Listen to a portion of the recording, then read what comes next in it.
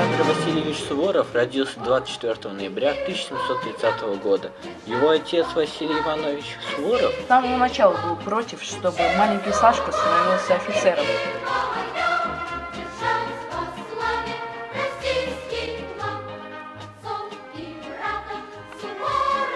Среди балтийских солнечных просторов, пред широко распахнутой Невой, как бог войны, встал бронзовый Суворов, видением русской славы боевой. Генералиссимус Суворов, солдату друг, солдату брат. Генералиссимус Суворов, да что там Альпы, да что там горы, с ним для солдата нет преград. Он и стены насквозь видит. Такая сила дана.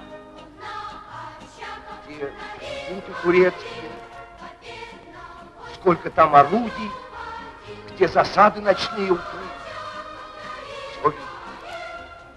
Час постоял, помню. Вдруг сигнал дает обыкновенно. Ручками всплеснул и закричал по кочетиному.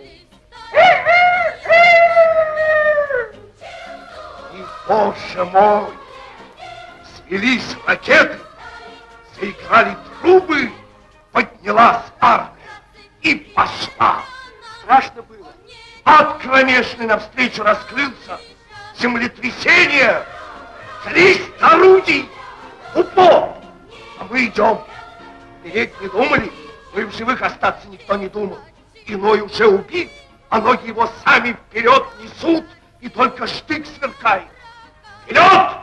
Вперед! кричит Суворов. И первый на стену, а за ним и мы. И никакая пуля его не берет, никакая сабля не рубит. Возвращаясь с очередного похода, Александр Васильевич сильно заболел, и 18 мая 1800 года он скончался в Санкт-Петербурге.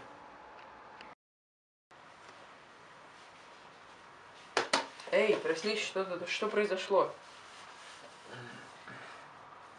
Пойду-ка я почитаю.